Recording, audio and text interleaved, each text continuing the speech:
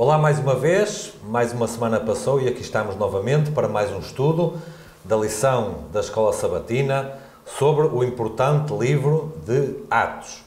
Nós vamos passar para a quarta semana, portanto, o quarto estudo, e já falámos bastante acerca dos primeiros tempos da Igreja Cristã. E é isso que nós vamos continuar a fazer, mais uma vez na companhia do Pastor Paulo Cordeiro. Olá, Pastor. Olá, Filipe. E para começar, talvez possamos fazer uma oração. Querido e amado Pai, estás nos céus, mais uma vez, Senhora, sentindo a nossa profunda necessidade de Ti, nós queremos suplicar que o Teu Santo e Bom Espírito seja aquele que seja o nosso verdadeiro líder, o nosso verdadeiro instrutor e que nós possamos ser apenas e só instrumentos nas Tuas mãos para aquilo que iremos comunicar a partir da Tua palavra. Que o Teu Espírito depois nos inspira, esse mesmo Espírito que inspirou os autores bíblicos, que Ele venha iluminar as nossas mentes, nos ajude a compreender este importante assunto dos primeiros líderes na, na história da Igreja, para que nós possamos compreender o que é a verdadeira liderança que tu esperas hoje dos teus líderes na tua Igreja do tempo do fim. Acompanha-nos, pois, tudo isto pedimos e pela fé te agradecemos em nome de Jesus. Amém. Amém. Pastor, o título desta semana é Os Primeiros Líderes da Igreja. Portanto, eh, para além de um assunto teológico que normalmente é tratado, nós temos aqui também uma lição acerca da organização administrativa da, da primeira igreja. Claro, a igreja começou com poucas pessoas, poucas centenas, se calhar começar, começar, começou com 12, não é? Uhum. Mas rapidamente ela foi-se eh, foi crescendo, foi-se alargando e houve necessidade de funcionalmente ir adaptando conforme as, eh, as necessidades. Uh, e isto, isto quer dizer que, se em termos teológicos nós podemos dizer que aquilo que nós aprendemos e sabemos é estanque, ou seja, há verdades que são inegociáveis e irrefutáveis, administrativamente nós temos aqui flexibilidade para ir adaptando conforme aquilo que é as, as necessidades da Igreja. Portanto, isto não é algo que nós eh, fazemos hoje, é algo que já vem desde trás, ou seja, a Igreja tem que ser organizada, tem que ser metódica, tem que ter normas, tem que ter também princípios uh, e regras administrativas para poder uh, funcionar e para, no fundo, poder cumprir com a sua missão. O pastor, pessoalmente, até nem gosta muito, nem é muito apto a estas coisas administrativas, mas elas existem, têm o seu lugar e têm que funcionar. E nós vemos isso logo desde, desde o princípio da Igreja, principalmente quando se começou a juntar pessoas que não eram exatamente ali daquela cultura judaica onde ela cresceu. A lição fala dos gregos que vieram, que vinham com outros hábitos, outras práticas, e embora aceitando a doutrina, embora aceitando a teologia, até deram o seu contributo para a Igreja crescer também administrativamente para se adaptar a essas mesmas uh, necessidades. Portanto, os primeiros líderes da Igreja não estavam cegos para esta, para esta necessidade, não é? Sem dúvida. Olha, Filipe, uh, o primeiro aspecto que eu gostaria de enfatizar uh, é o seguinte: uh, nós, isto é um facto, e um facto bíblico, a Igreja inicial tem líderes. poderíamos eventualmente pensar, como algumas pessoas hoje em dia infelizmente pensam, que não há necessidade de liderança. Pois bem, se não houvesse necessidade de liderança, eu estaria perfeitamente aberto para aceitar essa hipótese mas é que quando nós olhamos para a Igreja primitiva, vemos que é o próprio Deus que institui líderes. Portanto, um, isto para dizer o quê? Nós não podemos, portanto, simplesmente descartar uh, a, a, liderança. Há necessidade de líderes. Houve necessidade naquele tempo, há necessidade hoje. Depois, segundo, tu falaste muito bem da questão da organização. Aqui uh, eu quero enfatizar um aspecto que é para mim muito importante, que é o seguinte: a organização não é, nunca foi nem nunca poderá ser um fim em si mesmo.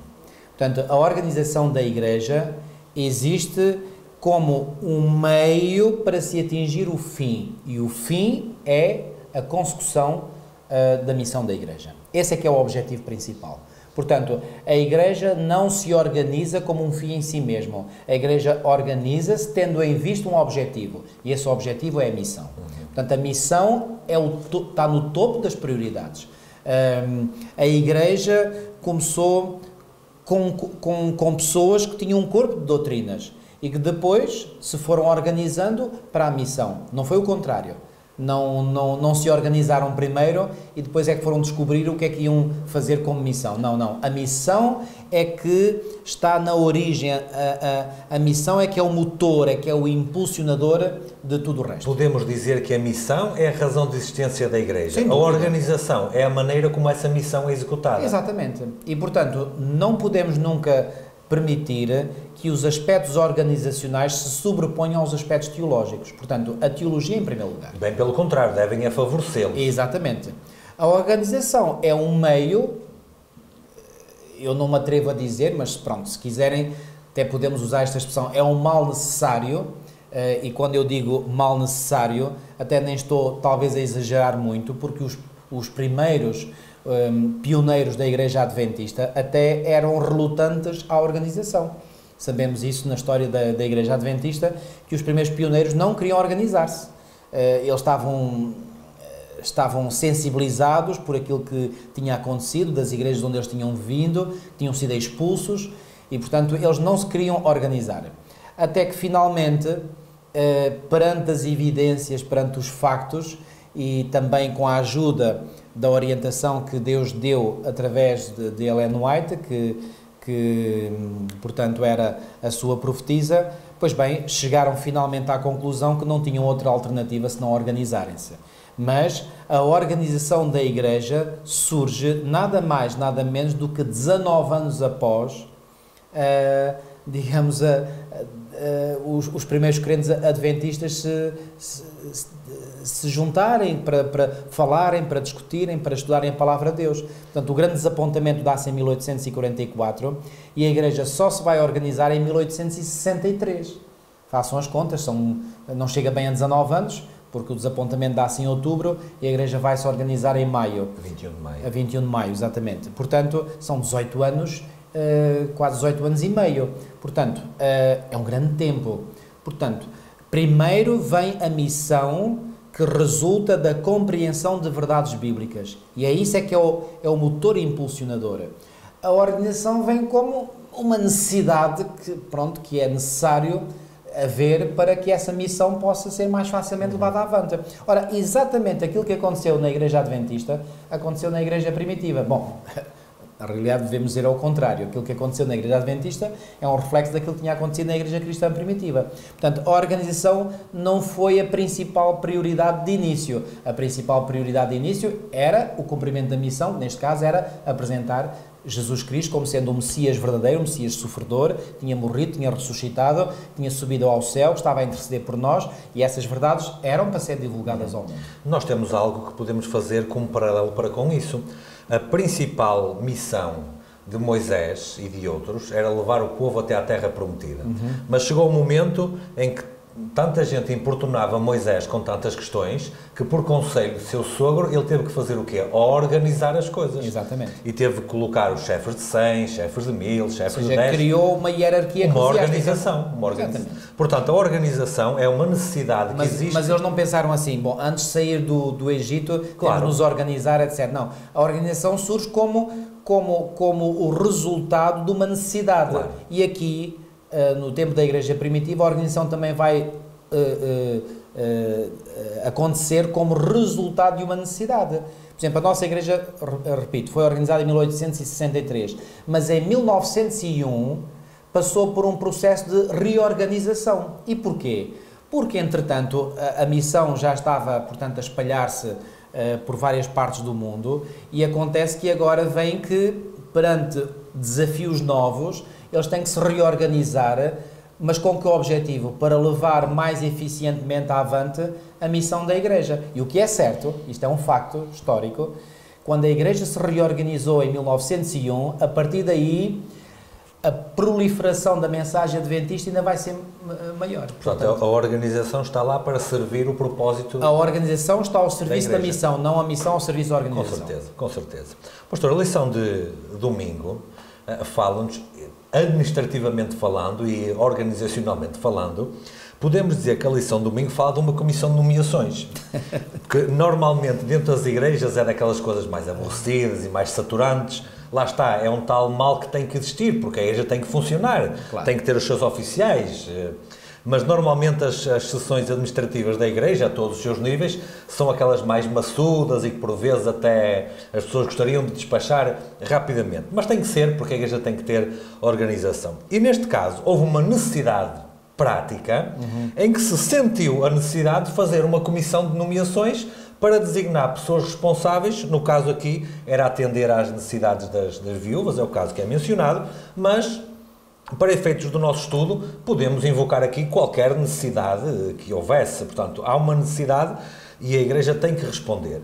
E o que é que acontece? O que acontece é que a própria Igreja, reunida em conjunto, vai decidir, dentro de determinados parâmetros, dentro de determinados critérios, quem são as pessoas dentro desse corpo que melhor podem ajudar a Igreja a cumprir com aquela função. Portanto, não se trata aqui, neste caso particular, e na organização da nossa Igreja também não, não se trata de haver aqui uma pessoa, um presidente que decida quem faz o quê, quando e como é que faz. Não, não, é a Igreja toda. É a Igreja toda. Exatamente. Há um corpo organizado. E a nossa Igreja Adventista, o sétimo dia, ela está reconhecida porque tem a pirâmide virada ao contrário. Exatamente. Ou seja, no topo da pirâmide, no, no grau mais importante ou mais elevado da hierarquia está justamente o corpo organizado da igreja local. Ou, ou se quisesse, eu diria que são as bases, as os bases, fundamentos. Os fundamentos também. Porque são as igrejas locais que depois elegem os seus oficiais. Uh, são as igrejas locais que elegem, por exemplo, representantes junto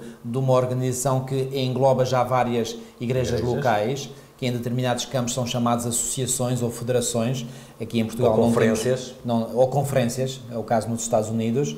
Depois, um conjunto de conferências ou associações ou federações, este nome federações existe, por exemplo, em França e, e na Bélgica, uh, uh, juntam, portanto, fazem uh, uniões, depois um conjunto de uniões formam divisões e o conjunto das divisões forma a Conferência Geral.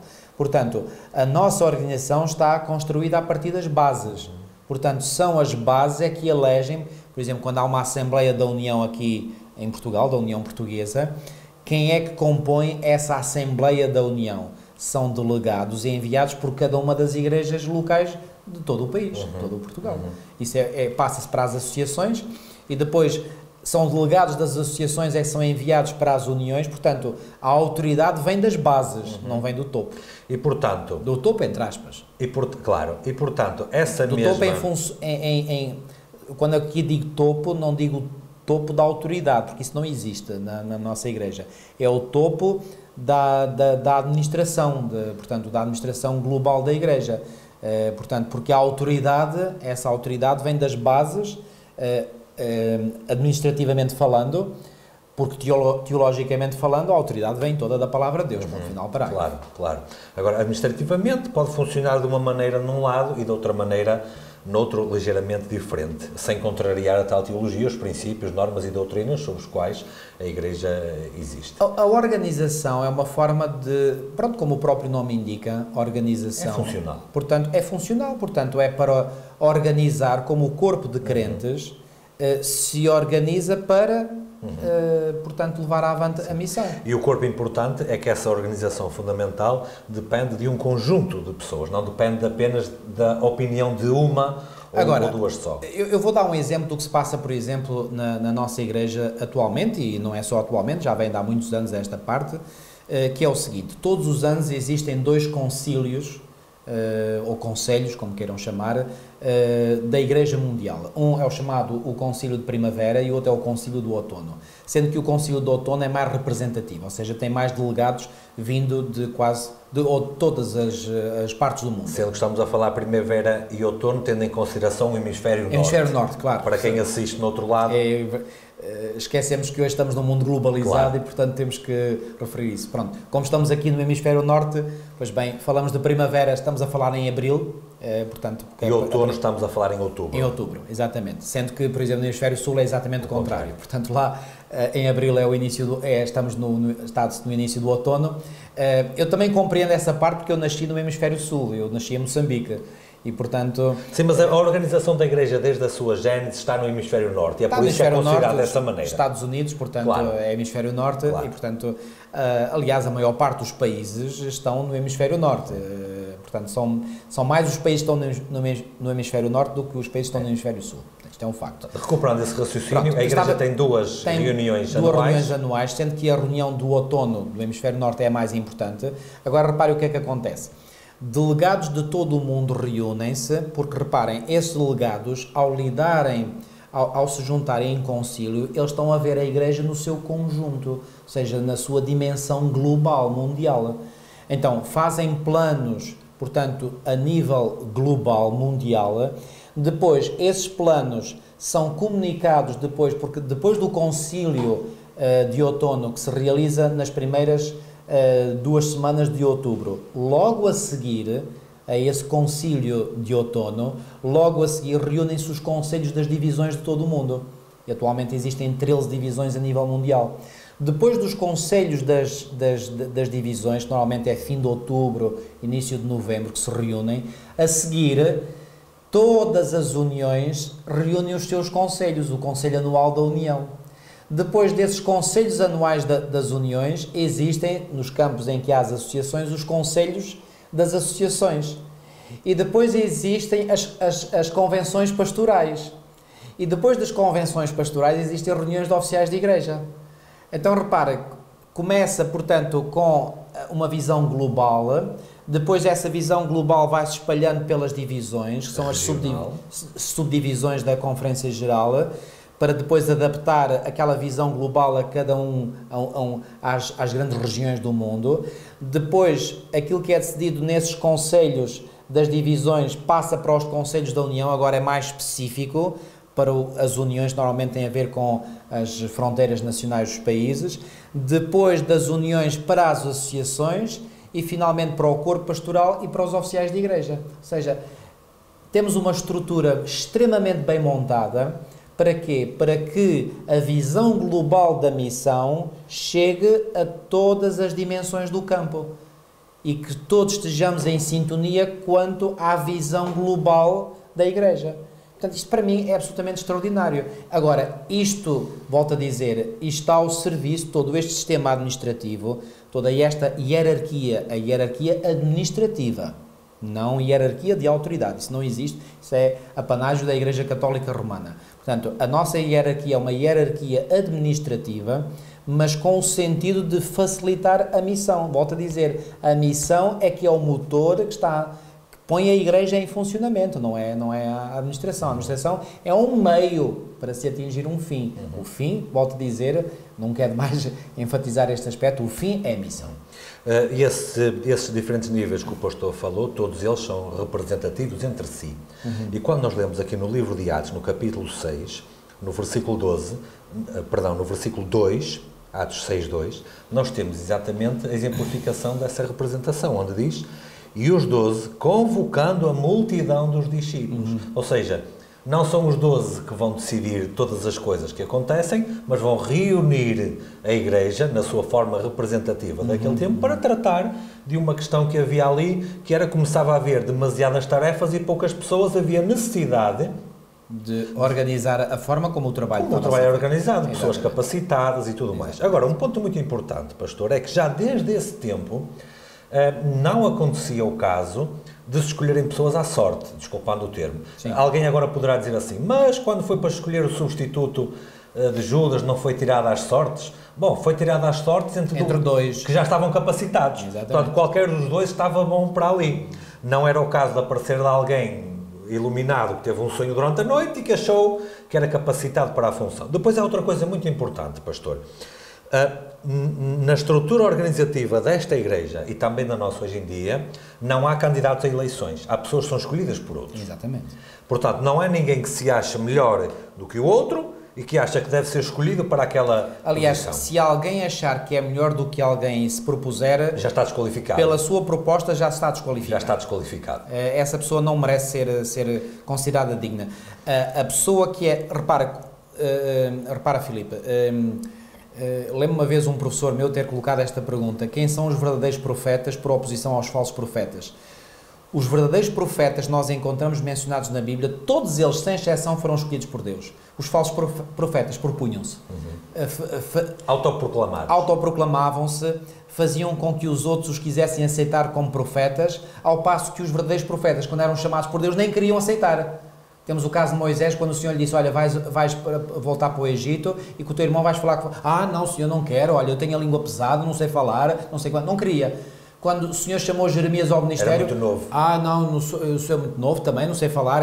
Não, não querem. Uh, portanto, nós encontramos sempre uma, uma, uma certa relutância uh, da parte daqueles que são chamados. Portanto, eles, Ellen White também Uh, lutou inicialmente porque não queria aceitar o ministério que o Senhor lhe estava a propor. Até que quando viu que a coisa era séria, que remédio teve ela se não aceitar, não é?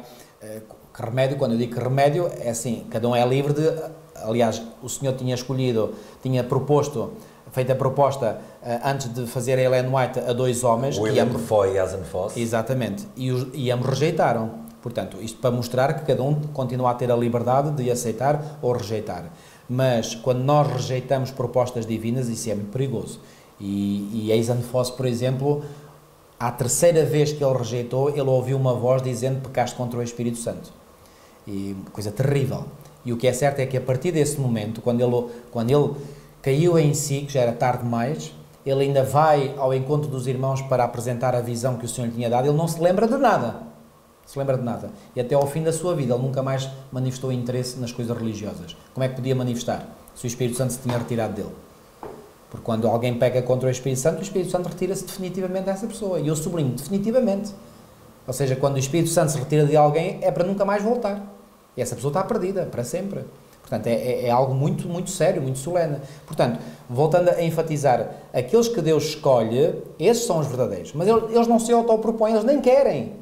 Mas depois uh, lutam. Por exemplo, há um texto que eu gosto muito de, em que Jeremias diz o seguinte: está em Jeremias uh, capítulo 20, versículo 7, diz assim: Jeremias 27, um, em que Jeremias exprime aqui o, o, conflito que ele viveu com o Senhor, que é o seguinte: persuadiste-me ao Senhor e persuadido fiquei, mais forte foste do que eu e prevaleceste. Uhum.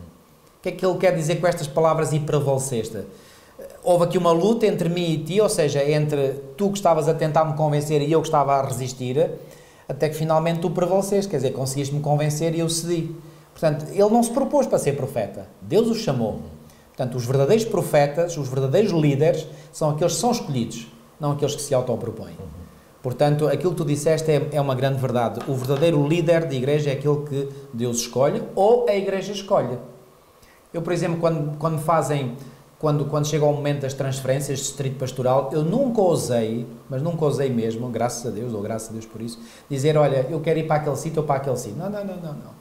Eu deixo isso nas mãos de Deus, que eu sei que funciona através da sua igreja. E quando me apresenta uma proposta, é, tudo bem, tu aceitas.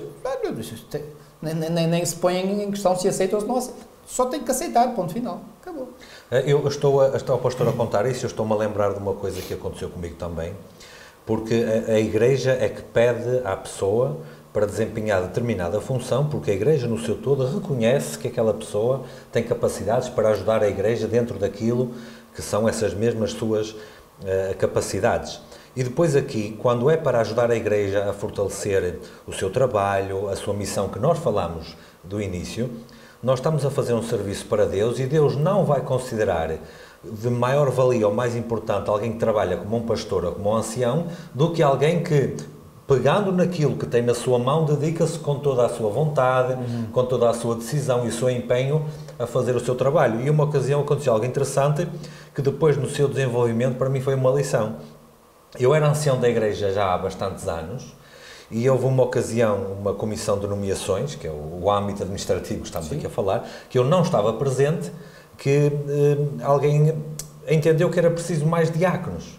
E lembraram-se de ligar para mim para ver se eu uh, gostaria de ficar como diácono. E ninguém, ninguém, queria telefonar, porque estavam com medo como é que um ancião iria aceitar servir como diácono, que aparentemente é um cargo abaixo. É uma expressão que não tem lógica, mas vou apenas usá-la para, para efeitos do raciocínio, que é um cargo abaixo. Então arranjaram um amigo meu, muito amigo, para eu ser mais receptivo, e ligaram. E na minha mente Deus colocou essa pergunta: mas por que razão é que eu não poderei ser uh, diácono. Por que razão é que serei mais importante ou menos importante do que o outro? Isso não interessa de nada. Uhum. A Igreja está-me a pedir para fazer aqui uma determinada uh, função hein? E eu vou fazer o melhor o melhor que souber. Se me pedirem para varrer a igreja, eu vou varrer. A... Não me peçam para tocar o piano, que aí os irmãos deixavam de ir à igreja, que eu não sei tocar o piano. Mas aquilo que estiver na minha mão para para fazer, não é o pastor ou o ancião que me está a pedir. Deus precisa que a igreja seja organizada uhum. e que haja irmãos a desempenhar funções e quer que o façam. E dou apenas um outro exemplo que depois, nesta sequência, me ensinou bastante. Às vezes na igreja nós se calhar não queremos fazer aquele cargo porque a outra pessoa não quis em primeiro lugar, nós não queremos ficar em segundo. Hum. Isto eu estou a colocar aqui o assunto terra a terra, não é? Tal e qual. A, igreja, é, é tal e qual como acontece. A igreja colocou-me em segundo lugar, então eu não quero. Eu tenho aqui um problema, pastor. É que o anjo Gabriel foi nomeado para uma função que Lúcifer se desqualificou. Uhum. Então ele podia pensar, ah, tá, mas Deus escolheu-me em segundo lugar, então eu não quero. Bom, eu não vejo ele a ver isso. Exatamente. Eu vejo ele a dizer, não, Deus escolheu-me para uma determinada função, eu vou cumprir com a vontade de Deus e vou-me alegrar não em Não importa que seja função. em segundo, em terceiro, em quarto lugar, não importa. Ó oh, pastor, eu quero estar no reino dos céus, nem que seja para varrer o chão. Hum. não vai haver necessidade que não vai haver sujidade lá, uhum. não é? Mas nem que seja para varrer o chão ou estar de porteiro a abrir a porta a quem entra e sai, eu gostaria de estar lá e sentir-me honrado, seja qual for a função claro, que claro. Deus me der lá. Mas esse é o espírito uh, genuinamente cristão. É que quando alguém aceita Jesus Cristo e viveu uma verdadeira e genuína conversão, conforme falámos a semana passada, não, não, não, não, não, poderá estar, não, não, não poderá ter outra postura dentro da igreja. Está ali para servir. E servir significa servir em qualquer função, em qualquer local, não importa. Houve, um, houve uma eh, irmã lá na nossa igreja, eh, antes do pastor chegar lá, para quem não sabe, o pastor eh, está na igreja da qual eu frequento, sou como membro, que ela entrou para a igreja já na sua fase adulta, e um dia escolheram para fazer, ser diaconisa e ela ficou aflitíssima, aflitíssima, porque as outras pessoas é que faziam muito bem.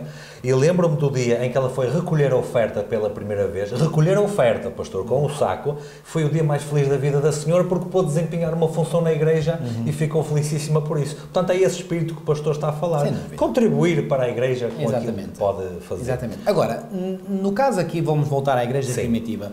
Quando houve aqui a nomeação dos sete, eh, não deixa de ser interessante o seguinte: eh, nós lemos aqui em, em, em Atos, no capítulo 6, que começou a haver um problema. Eh, aqui a lição fala muito bem na introdução de que depois daquelas, daquela multidão de pessoas convertidas que se converteu no dia de Pentecostes, a maior parte daqueles que se converteram, embora o livro de Atos dos Apóstolos, no capítulo 2, mencione várias nações, a maior parte das pessoas que se converteram eram judeus mas eram judeus que pertenciam à, à chamada diáspora, à dispersão.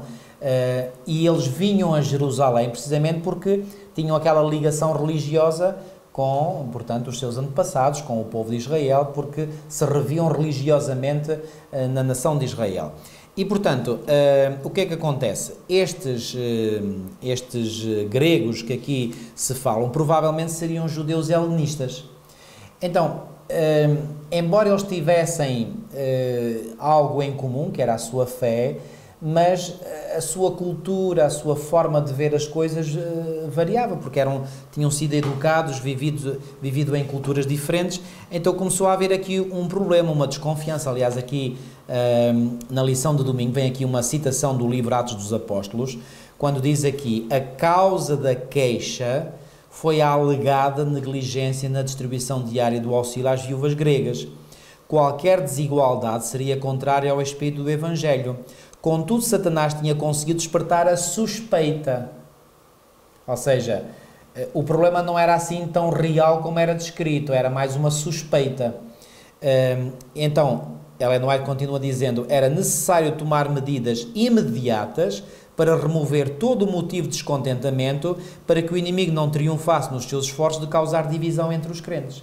Porque o objetivo do inimigo é sempre causar divisão.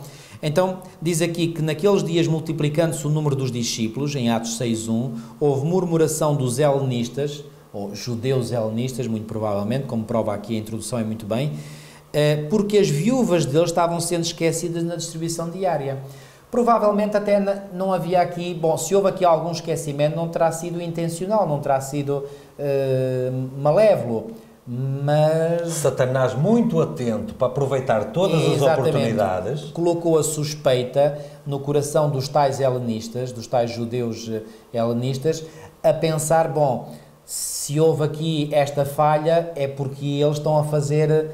Eh, estão a fazer. interesses, Há aqui interesses, portanto, estão a fazer. preferências para uns em É, relação a outros. Não, é- não havia isso. O que vai contra aquele princípio que falámos na lição da semana anterior, que tudo era comum, todos partilhavam uns com os outros. Exatamente. Eu até estou convencido que não havia essa intenção malévola. Houve ali uma falha, provavelmente, uma, uma falha de serviço, isso não tenho dúvidas, que tenha havido uma falha, mas o problema, e isto é, um- é algo que ainda hoje nós vemos muito, muitas vezes há falhas, mas existem logo aquelas pessoas que são peritas, eu diria, peritas entre aspas, em dar uma interpretação para a falha.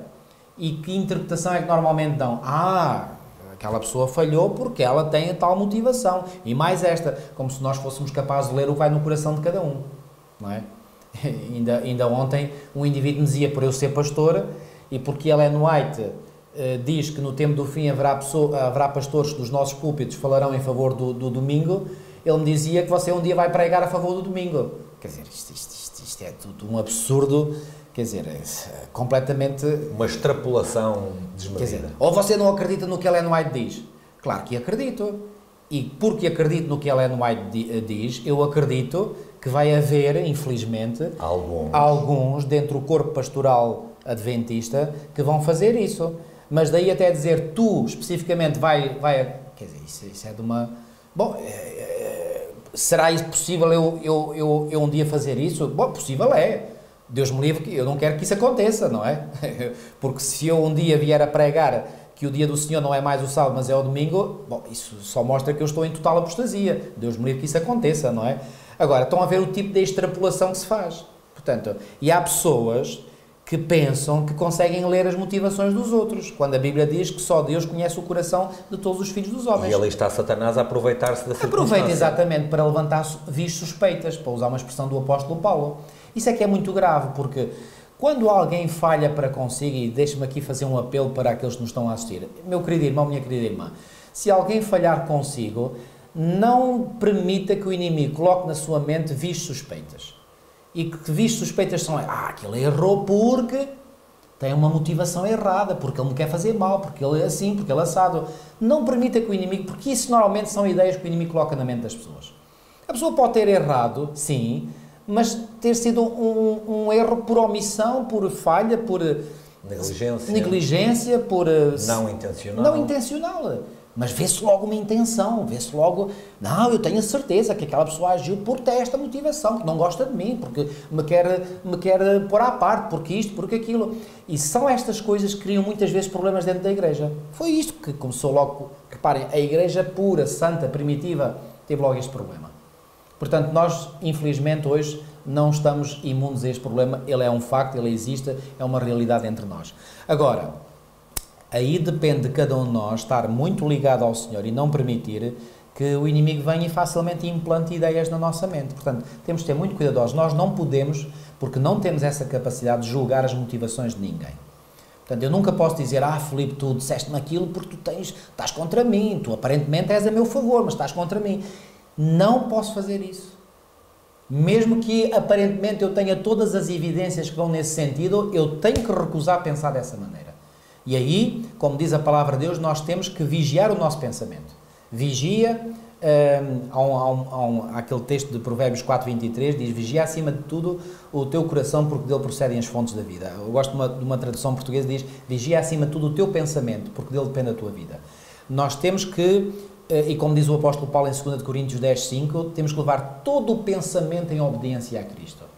Portanto, se a palavra de Deus me diz que eu não sou capaz de ler os desígnios do coração, as motivações de cada um, então eu tenho que me recusar de forma consciente a não permitir que isso aconteça. Portanto, aqui este problema surgiu porque alguém permitiu no seu coração acalentar estas suspeitas. Como diz aqui claramente Ellen White. Agora, os apóstolos, vendo que estaria ali algo que poderia criar muita tensão e divisão. tivesse e divisão, se não tivesse sido Atacado. atacado logo pela raiz, então resolveram logo, vamos, vamos resolver o assunto. Certamente que eles pediram orientação divina em oração e veio a solução. Qual foi a solução? Era nomear pessoas que ficassem encarregues de servir especificamente, especificamente naquele, naquela função, naquela, que era uma, uma distribuição de alimento diário pela, pela Ou seja, pastor, foi detectada uma carência justa e foi providenciada uma solução. Exatamente. Ou seja, se a igreja não se tivesse organizado para decidir o assunto, continuava o problema ali. Continuava o problema e ia-se agravando. Então a organização e... é boa e ajuda a resolver. Ora, nem mais. E muitas vezes hoje também, uh, muitos dos nossos dirigentes, administradores, eles passam, eu vou-vos dizer uma coisa, eu, eu não sei aquilo que o Senhor um dia me chamará a fazer, mas eu pessoalmente, já pensei isto várias vezes, uh, nunca disse isto em público, mas eu pessoalmente não ambiciono, nunca ambicionei cargos de administração porque eu compreendo, olhando para o trabalho dos meus colegas que estão nessas funções, eles passam a maior parte do tempo a fazer gestão de conflitos e de problemas dentro da igreja. É, uma, é uma coisa impressionante. Pronto, esse trabalho tem que ser feito? Tem. Eu não digo o contrário. E eu até admiro aqueles que têm, eu diria, estofo ou estômago para conseguir lidar com essas situações. Mas, basicamente, o trabalho do administrador é fazer gestão de conflitos. Uh, ao passo que eu me sinto muito mais motivado, uh, em vez de fazer essa gestão de conflitos, a cumprir a missão. E aí é que eu me sinto como peixe na água porque gosto de fazer esse trabalho de, de avançar com, com, a, com, com a missão da Igreja, espalhar o Evangelho, espalhar as verdades da Palavra de Deus, as verdades presentes, as mensagens dos três anjos do Apocalipse 14. Isso é o que eu gosto de fazer. Uh, claro, não vou recusar, se um dia me convidarem uh, a exercer qualquer cargo de administração, não vou recusar. Mas pessoalmente eu até desejaria que isso nunca acontecesse. mas, eh, mas estou pronto, como disse há bocadinho, estou pronto para servir onde Deus queira. Uh, mas uh, aqui, portanto, os apóstolos tiveram que resolver esta questão. E resolveram da forma mais sábia possível.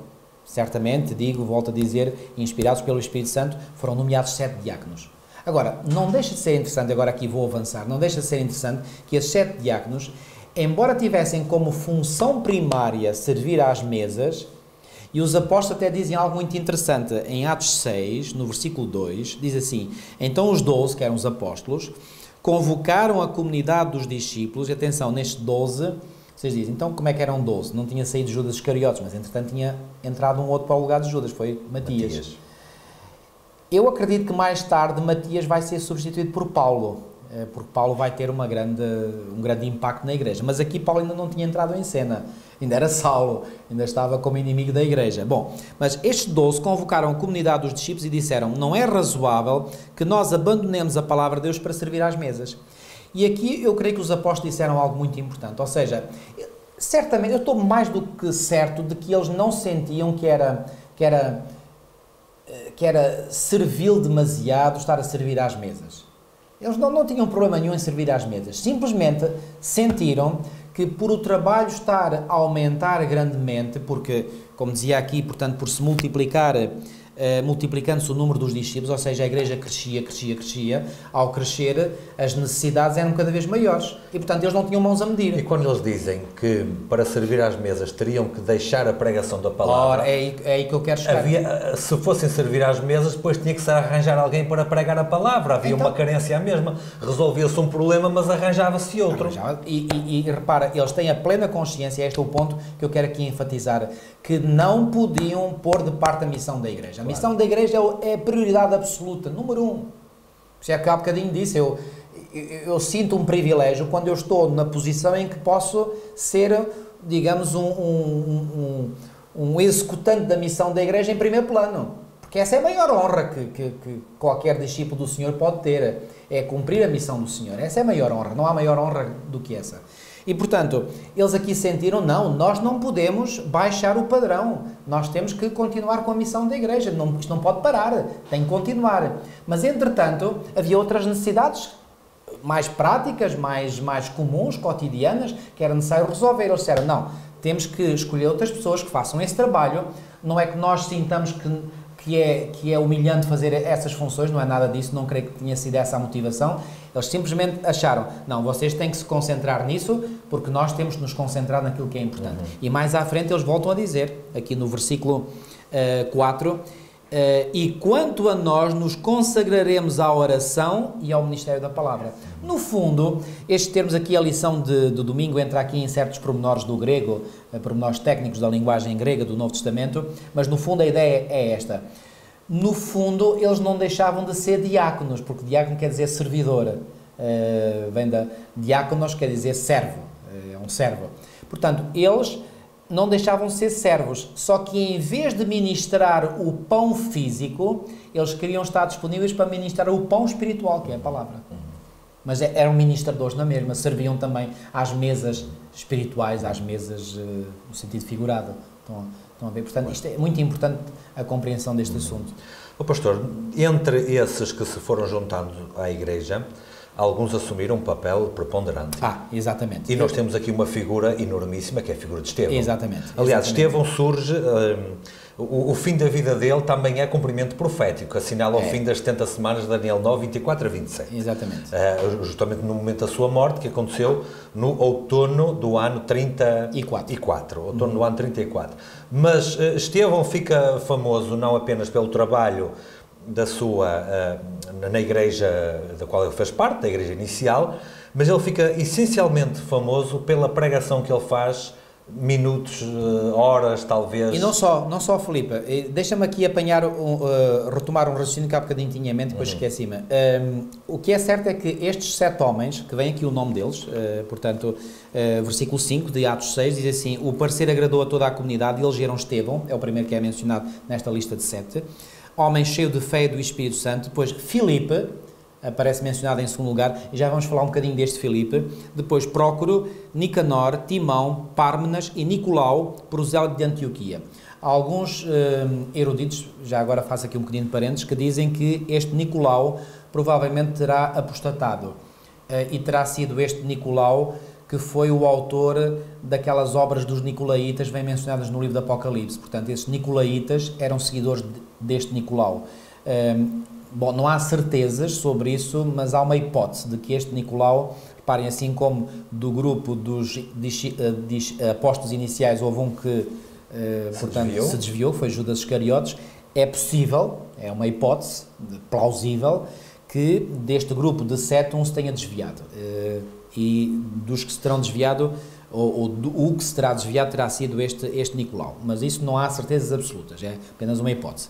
Mas uma coisa é certa, os restantes, e particularmente sabemos aqui bem a vida de Estevão e de Filipe, estes homens não se contentaram em ficar apenas a executar as tarefas para as quais a Igreja os tinha nomeado. O que é que eles fazem? Passam a ser evangelistas, passam a ministrar não apenas o pão físico, mas também o pão espiritual. Ou seja, ousam, isto são palavras minhas, ousam ter a coragem de fazer o trabalho que os próprios apóstolos estavam a fazer, que era ministrar o pão da vida.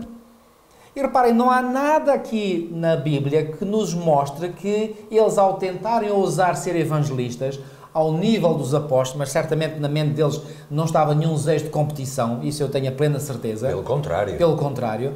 Mas não há nada na Bíblia que nos diga que eles estavam a fazer algo errado. Ah, tu és diácono, tens de ser diácono, não podes ser pregadora. Isto para mim é uma lição fundamental para, para nós nos dias de hoje.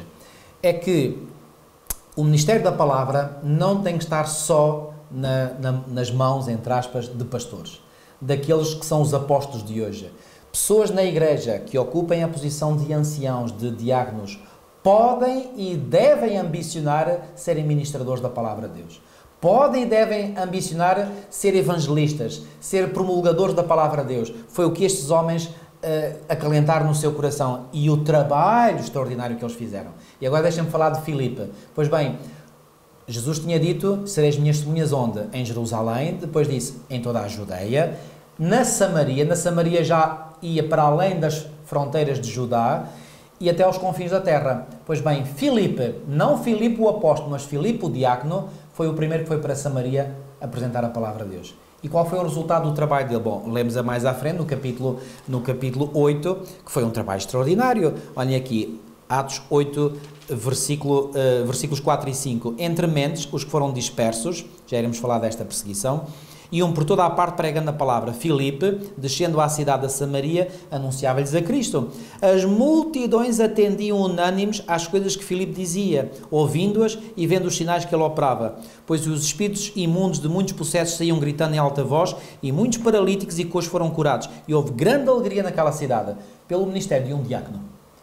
Talvez alguns poderão perguntar, mas ó pastor, como é que sabe que este Filipe era o diácono e não o apóstolo? Porque havia também um apóstolo com o nome de Filipe. É muito simples, porque aqui em Atos, no capítulo uh, 8, neste capítulo 8 que estamos a, a, analisar, e no versículo 1 diz assim: Naquele dia levantou-se grande perseguição contra a igreja em Jerusalém, e todos, exceto os apóstolos, foram dispersos pelas regiões da Judeia e Samaria. Então quem é que foi disperso? Todos, ou seja, todos os membros da igreja, exceto os apóstolos. E depois no versículo uh, eh, 5 diz: Filipe descendo à cidade de Samaria anunciava-lhes a Cristo.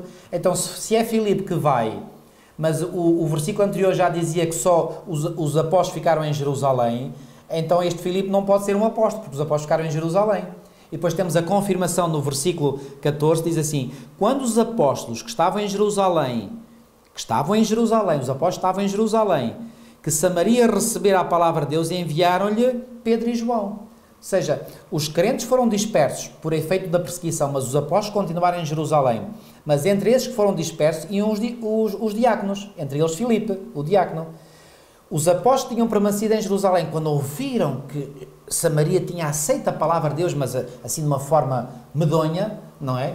Eh, eles disseram: Não, temos que ver o que é que se lá a passar. E então enviaram dois dos apóstolos para confirmar o trabalho que o diácono tinha feito. Portanto, quem é este Filipe? É este Filipe que depois vai ser enviado por Deus a apresentar a mensagem da palavra de Deus ao eunuco. Que até o batiza. Ao, até o batiza. Portanto, não, eles não tiveram que estar ali à espera que viesse um apóstolo para batizar. Isto, isto, reparem, hoje temos tantas limitações, às vezes administrativas, que eu creio que um dia temos que nos desembaraçar de todas estas limitações. Temos aqui um diácono a fazer, a exercer o batismo deste, deste homem etíope. Este e homem... foi enviado para lá pelo Espírito de Deus para fazer isso. Pelo Espírito de Deus, exatamente, não há dúvidas nenhumas sobre isso. Este etíope regressa ao seu país natal, à Etiópia, e funda lá uma comunidade cristã que vai permanecer durante séculos e séculos uh, na, na, história. Depois, eh, aliás, é, é, este Filipe que depois de, de ter batizado o, o etíope uh, se acha em Azoto, como diz aqui, portanto, uh, versículo 39. Quando saíram da água e espírito, o Senhor arrebatou a Filipe, não vendo mais o eunuco, e este foi seguindo o seu caminho cheio de júbilo. Mas Filipe veio a achar-se em Azoto e, passando além, evangelizava todas as cidades até chegar a Cesareia.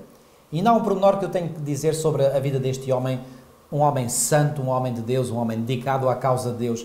Este homem foi certamente um homem tão dedicado, tão dedicado, tão dedicado à, à, à, à missão da igreja, ao partilhar a palavra de Deus, que ele tinha quatro filhas e as quatro filhas se tornaram profetisas. Não é fantástico? Uhum. Uau! Que, que, exemplo que este homem deixou. Um homem, um, um, um devia ser, devia ser, não, era certamente um excelente marido, um excelente pai, que deixou um exemplo eh, atraente para as filhas. e, foi tão atraente o exemplo que ele deixou para as filhas que as filhas dedicaram-se de tal forma ao Senhor que o Senhor as escolheu para serem profetisas e ele próprio anda por todo lado espalhando a palavra de Eu até tremo de emoção quando vejo exemplos como este de, de Filipe. E o que é que ele era? Um simples diácono, simples entre aspas. Um simples diácono. Então reparem, se Deus pode fazer o que fez através de Filipe naquele tempo, o que é que Deus não pode fazer de si, amigo? Você às vezes pode pensar, ah, mas eu não estudei teologia, eu não fiz o curso de teologia, eu não sou pastor, logo não estou qualificado. Engano. Quem qualifica os verdadeiros servos de Deus não é nenhum curso, não é nenhuma, nenhuma função, é o Espírito Santo. E todas as pessoas que se colocam sob a influência do Espírito Santo se deixam guiar por Ele, que aceitam a Sua palavra tal como ela é e a apresentam tal como ela é, essas pessoas podem fazer um trabalho extraordinário para a causa de Deus. Temos aqui o exemplo de Filipe. Claro, Filipe, ele fez talvez um trabalho mais amplo do que Estevão, não porque Estevão não fosse importante, mas porque Estevão teve a sua vida cortada, porque ele foi foi condenado à morte. E é? podemos falar justamente acerca desse momento que a lição também menciona, porque o dia da morte de Estevão é um dia muito significativo na história da Igreja Cristã, na história profética, Uh, e, e, e, no assunto da lição desta semana. Da... E, e, já agora, falando agora em Estevão, uh, diz aqui o texto em Atos 6, 8, que Estevão, cheio de graça e poder, fazia prodígios e grandes sinais entre o povo. E depois no versículo 9 fala aqui de, isto eram sinagogas que havia em Jerusalém, de, aliás, a, a, a lição explica aqui muito bem, portanto, que uh, Estevão partilhou o Evangelho nas sinagogas helenísticas de Jerusalém, na lição de segunda. Havia várias destas sinagogas na cidade. Atos 6, 9, uh, que é o texto que eu agora irei ler, refere-se a duas delas, uma de imigrantes do sul, judeus de Cirene e de Alexandria, e uma de imigrantes do norte, os da Cilícia e da Ásia. E estes indivíduos destas sinagogas, de judeus helenistas, diz aqui que eles levantaram-se, porém, alguns dos que eram da sinagoga chamada dos libertos, dos sirneus, dos alexandrinos e dos da Cilícia e Ásia, e discutiam com Estevão. E esta discussão era certamente a levantar objeções. Agora repare o que diz o versículo 10. E não podiam resistir à sabedoria e ao espírito pelo qual ele falava. Então, este homem, mais uma vez, um simples, entre aspas, diácono, tinha uma erudição tão grande que era um verdadeiro teólogo dentro da igreja. Reparem, o que é que, o que, é que capacita as pessoas?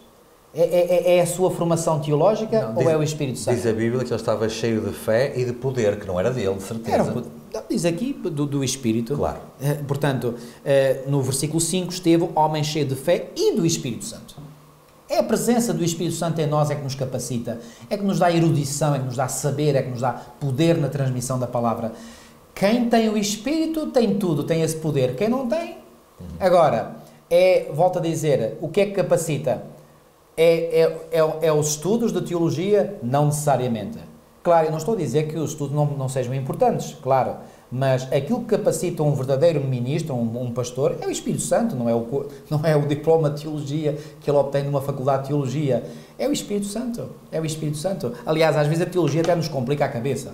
As muitas letras fazem delirar. Fazem, fazem, fazem. Porque já há, muitas, há muitas teologias, nós no curso de teologia somos confrontados com muitas, eh, com muitas objeções que são feitas a, a, às verdades bíblicas e, portanto, muitas vezes ao lidarmos mentalmente com essas questões, nós temos ficamos baralhados. Mas vamos avançar. Voltando à questão de Estevão, em particular àquele dia em que ele depois acabou por uh, falecer, à semelhança do que dissemos de Pedro na semana passada, Estevão também faz uma retrospectiva histórica que o conduz até aquele momento em que ele está ali. Mas há pontos comuns entre o discurso de um e o discurso de outro. Ambos reclamam Abraão como o pai, uh, como o pai, da, fé, pai da fé e ambos terminam a falar da pessoa de Jesus. É exato. Uh, e aqui há um problema complicado, porque se aqueles que estavam a ouvir aceitavam a pregação acerca de Abraão, quando vão a falar de Jesus morto e ressuscitado, aí já temos um problema diferente e o Sinédrio reagiu muito mal à pregação de, eh, de Estevão. Eh, não o puderam contrariar com argumentos válidos e fizeram aquilo que eh, ao longo dos séculos os inimigos de Deus fizeram, pastor quando não podemos contrariar o argumento bíblico, quando não podemos derrubar a mensagem, o que é que fazem? Derrubam o mensageiro. Nem é mais. É exatamente. E foi o que aconteceu com Estevão, e o primeiro mártir da Igreja Cristã. Foi o que aconteceu com Estevão. Portanto, Estevão tem uma pregação indiscutível, irrefutável, uma pregação que nós deveríamos ter aqui quatro ou cinco lições sobre, é sobre o assunto e por limitações não é possível, certamente. E quando... Mas esse, todo esse discurso de, de, de Estevão está no capítulo 7 do livro de Atos. Portanto, em casa, leia com muita atenção. Ele faz uma retrospectiva histórica e teológica do povo de Israel. Portanto, passa por todos os pontos de, essenciais da história do povo de Israel para chegar aonde? Para chegar precisamente a quem? À figura central uh, da fé, da fé não apenas dos cristãos, mas do próprio povo de Israel, que é o Messias. Uhum. E esse Messias ele quer provar que é o Cristo, a quem eles, uh, os líderes religiosos, tinham condenado à morte, não é? Quando, quando Estevão termina o seu discurso, diz o versículo 54 desse capítulo 7, que ouvindo isto eles, portanto os membros do Sinédrio, enfureciam-se em seus corações e rangiam os dentes contra ele. Portanto, o pastor, se calhar a fúria era mais porque não conseguiam contrariá-lo, não tinham argumento nenhum contra a pregação dele, mas não a queriam aceitar. Exatamente. Portanto, se quissessem aceitar. Sabe, o, o ranger os dentes é típico quando alguém quer fazer alguma coisa, mas sente que não pode fazer. Oh, pastor, isto, é, desculpa a, a, a, comparação, mas isto é um cão que faz isto. Os cães é que arrangem os dentes quando estão furiosos. É, mas não, estão... não conseguem exprimir a sua. Ou seja, materializar a sua raiva. Qual seria o sentimento no coração desta, destas Era pessoas? ódio puro, ódio puro. Ódio puro. E qual era, o, qual era o contraste? Porquê é que eu quero falar aqui do contraste? Porque alguns poderão pensar, bom, mas se até os líderes religiosos estão contra a nossa pregação, se todo o mundo se vira contra nós, como vamos subsistir? O versículo 55 dá resposta quando diz que Estevão, mas ele, estando cheio do Espírito Santo, fixando os olhos no céu, viu a glória de Deus e Jesus que estava sentado à, sua, à, à direita de Deus. Ou seja, quando todo o mundo está enfurecido, está a ranger os dentes, aquele homem estava calmo, aquele homem estava tranquilo. E porquê? Porque ele punha sua, o seu foco aonde? Em Deus. Olhava para cima, nem olhava Mas... para aqueles que estavam ali à frente. Exatamente. certa vez alguém me disse, uh, nós não pregamos para entrar em discussão ou para ouvir a opinião do outro, nós pregamos para dizer a verdade. Exatamente. E Estevão não estava preocupado com aquilo que os outros estavam a pensar ou o que lhe podiam fazer.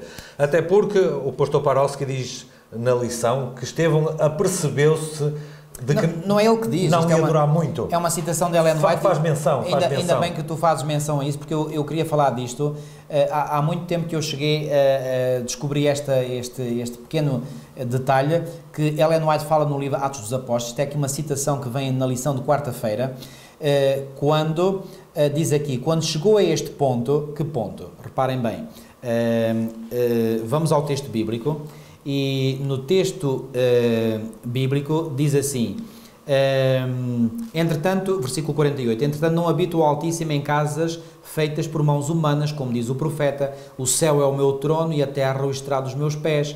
Que casa me edificareis, diz o Senhor, ou qual é o lugar do meu repouso?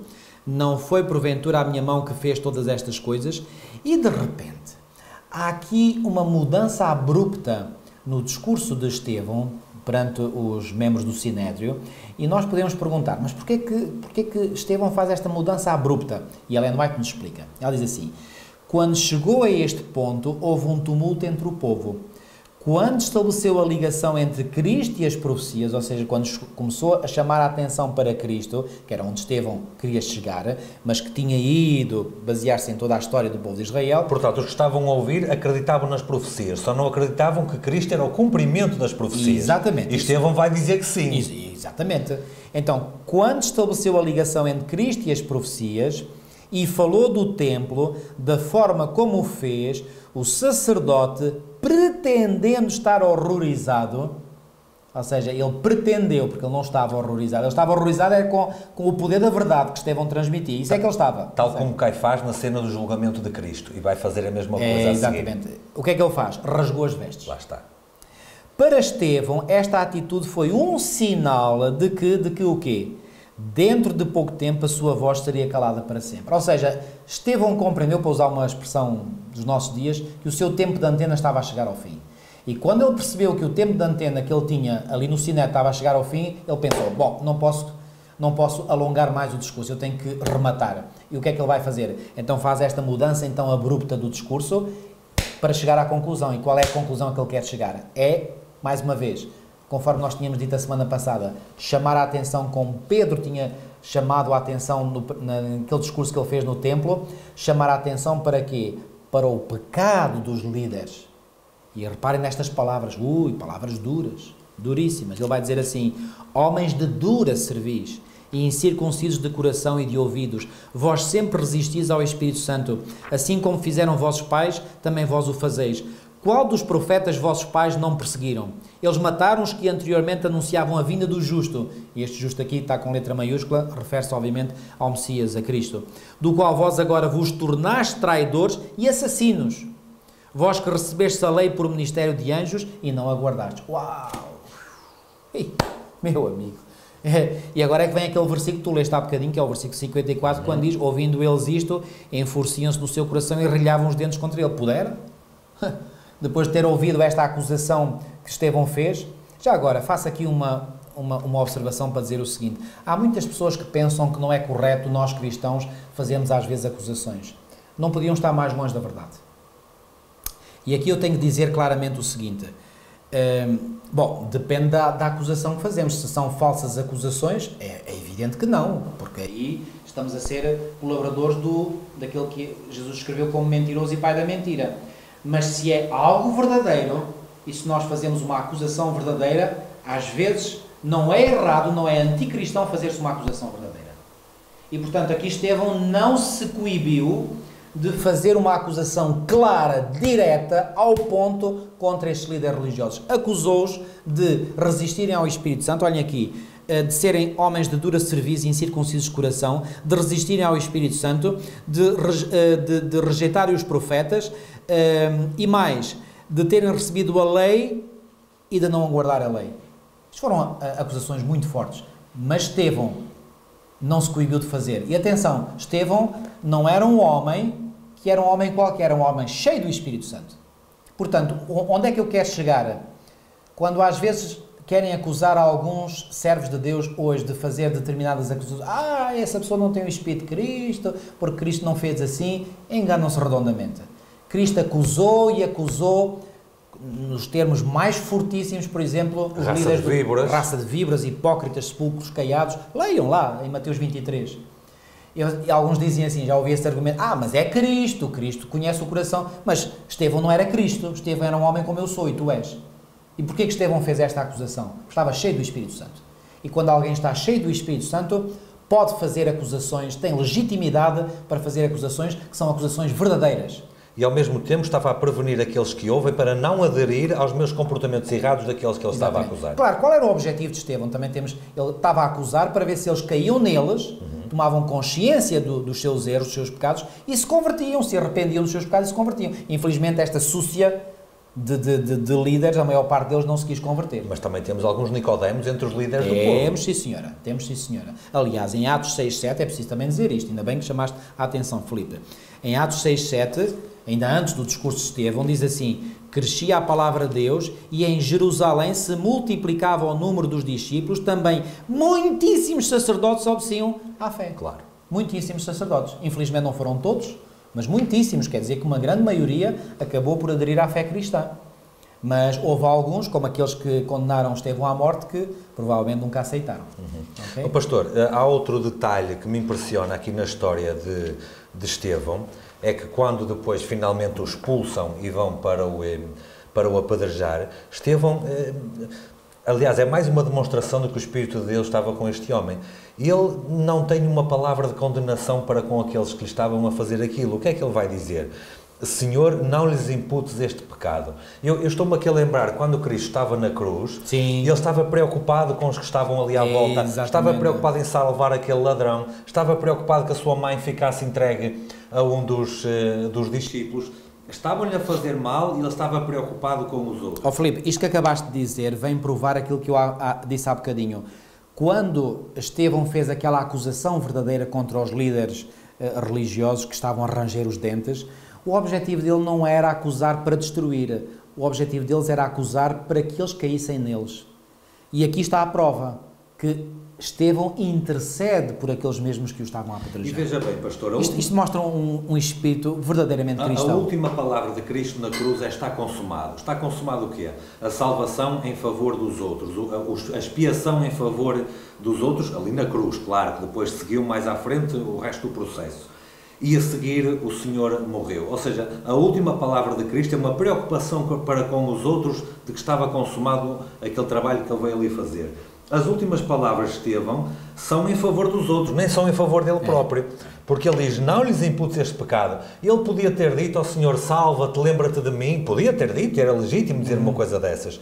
Mas o que ele diz é: Não lhes imputes este pecado, perdoa-os a eles, dá-lhes ainda mais uma oportunidade, que a tua graça interceda ainda um pouco mais. E aqui ele torna-se exatamente um modelo de Cristo, porque ele vai repetir a mesma oração de intercessão que Cristo tinha uh, uh, feito pelos seus algozes. Exatamente, exatamente. Portanto, ele tinha ali, o Espírito de Cristo estava tão dentro dele, que ele, à semelhança de tantos outros heróis ao longo da história, já nem estava preocupado se ia, se ia morrer. E aqui aproveito para fazer outra, outra aplicação para nós. Se nós hoje verdadeiramente temos o Espírito de Cristo em nós, às vezes sentiremos necessidade de fazer as tais acusações diretas, acusações verdadeiras Mas quando fazemos essas acusações, não é no espírito de condenação, é no espírito de redenção. É para ver se os outros caem neles, para ver se eles se, se, se, convencem dos seus pecados, se deixam convencer pelo Espírito Santo, porque estão a, até ali a resistir ao, ao, trabalho convencente do Espírito Santo. Esse é o objetivo dos verdadeiros servos de Deus, é levar as pessoas à convicção. E para isso, às vezes, é necessário dar, desculpem uma expressão, chapada atrás de chapada, que é para ver se as pessoas acordam. Certamente que foi por essa razão que Elias disse a Cabo, não, não, tu é que és o perturbador de Israel. Ou João Batista terá dito a Herodes, não pode estar com essa senhora. Exatamente e muitos outros ao longo da história Exatamente. também. Exatamente. Repara, não, não é confortável uh, estar na posição de quem tem de denunciar o mal. Eu falo por mim, quando às vezes tenho que denunciar o mal, só Deus sabe como é que o meu coração cá está por dentro, está todo apertado e às vezes a sangrar, entre aspas. Uh, mas eu o faço por uma convicção de dever. Eu tenho que fazer, mas faço Uh, com o objetivo de que a pessoa caia em si, reconheça o seu erro e se arrependa para poder ser salva. E ao mesmo tempo também temos que estar prontos para perceber que por vezes nós mesmos precisamos desse tipo de repreensão. Ai, sem dúvida, ai, sem dúvida, sem dúvida. Pastor, para terminar a, eh, a lição desta semana, o pós-morte de Estevão também é bastante significativo e relevante na história uhum. da Igreja. Porquê? Fez levantar a tal perseguição que ainda há bocadinho eu Fez levantar a perseguição e que a... teve como vantagem a Igreja se espalhar e ir por todo o lado. E a Igreja ao espalhar estava a fazer o quê? A cumprir... Com o que o Senhor tinha dito. Com o Senhor tinha dito que sereis minhas testemunhas em Jerusalém em primeiro lugar. E agora, uma vez que Jerusalém já estava evangelizada, eles tinham que partir. Mas dá-nos também a entender Ellen White no livro Atos dos Apóstolos, escrito o Atos dos Apóstolos de Ellen White, ela dá-nos a entender que a Igreja estava a, a, a digamos, a, a tornar-se muito comodista, se estava a acomodar-se.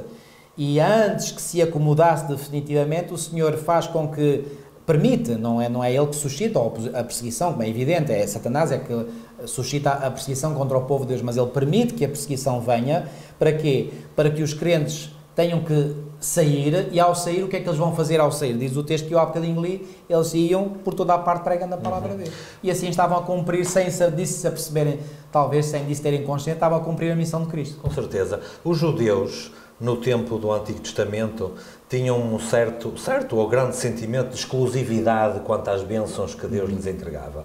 O que só por si não tinha razão, historicamente não tinha razão de ser, porquê? Porque Ruth e Raab juntaram-se ao povo de Deus, porque o, o, Deus mandou um profeta a Nínive, por exemplo, e lá não eram judeus, portanto não havia essa razão. Portanto, já desde o tempo do Antigo Testamento, Deus tinha mostrado claramente que o Evangelho era para todos, não era apenas e só para os judeus. O que me fez lembrar o princípio do movimento e da Igreja Adventista, já como organização também, quando havia ainda aquele sentimento que a mensagem era para a América do Norte.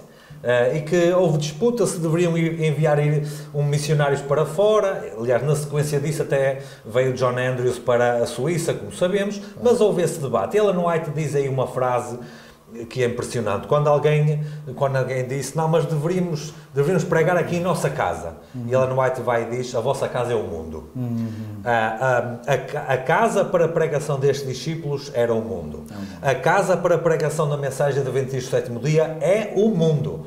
E a Igreja Adventista, com maior ou com menor dificuldade, vai a todo o mundo. Se os pioneiros adventistas acordassem agora e vissem em quantos países a mensagem do terceiro anjo está espalhada, eles diriam duas coisas. Já sabíamos, porque isso estava profetizado, ou abririam a boca de espanto ao perceber como aquilo estava. Portanto, esta difusão do Evangelho que aconteceu neste tempo com a Igreja Primitiva, ela é, de certa forma, hum, profética ou paralela com aquilo que a Igreja Adventista está a fazer hoje, hoje em dia. Hoje desfrutamos de facilidades que não tivemos durante séculos, os séculos da opressão. Por exemplo, mais. aquilo que estamos agora aqui a fazer. Seria impossível anos atrás. Pela graça de Deus, e eu aproveito para, para agradecer a todos aqueles que nos têm enviado mensagens, quer para o irmão Filipe Reis, quer para mim próprio, a agradecer.